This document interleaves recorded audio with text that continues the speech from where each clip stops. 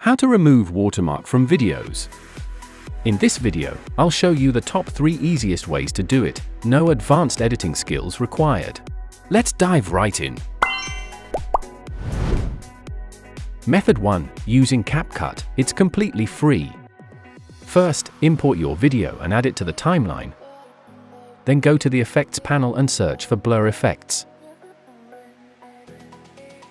Drag the blur effect onto the timeline and match its duration to your video. Click on Mask, then choose a shape and adjust it to cover the watermark.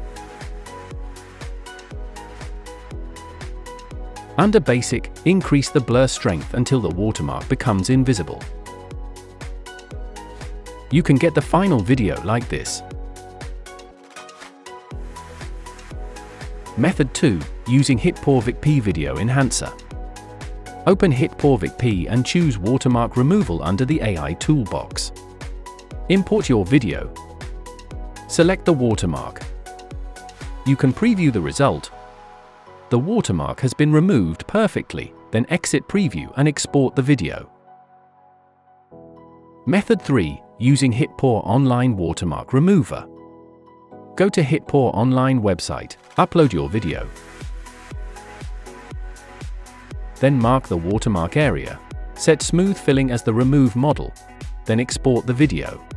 And that's how you can remove watermarks from your videos quickly and easily. If you found this helpful, like the video and subscribe for more simple editing tutorials. Thanks for watching and see you in next video.